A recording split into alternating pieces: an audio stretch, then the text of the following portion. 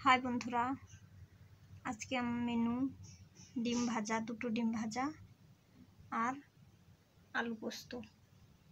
এখন আমি খাওয়া শুরু করছি।